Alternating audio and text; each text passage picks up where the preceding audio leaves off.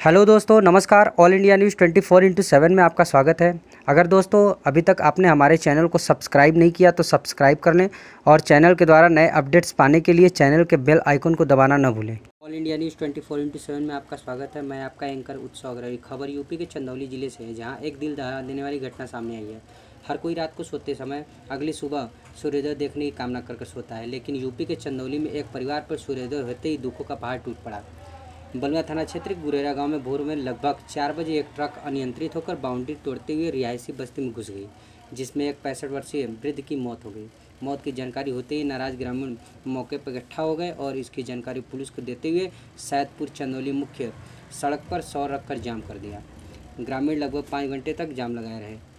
बता दें कि वृद्ध की मौत के बाद ट्रक कुछ दूर और जाकर बंद हो गई, जिससे बड़ा हादसा होते होते बच गया।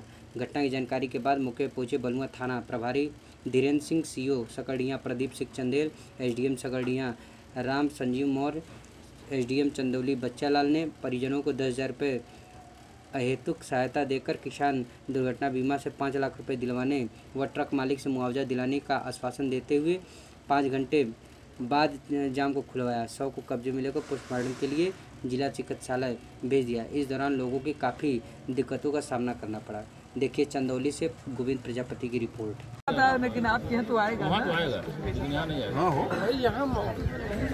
थाने पे आएगा सर। आपके यहाँ आएगा तो सब समय थाने बुलवा लीजिए। आएगा तो उसकी प्रक्रिया की आएगा। हाँ, अब वो- वो तो बाद की बात है ना। आएगा तो आप आने में उसको कितनी टाइम लगेगा कि आएगा भी नहीं आएगा। जैसे आदमी सोचता है भाई हमारी गाड़ी तो फंसी गई है। हमारी गाड़ी तो फंसी है। जो है तो आ जाएगा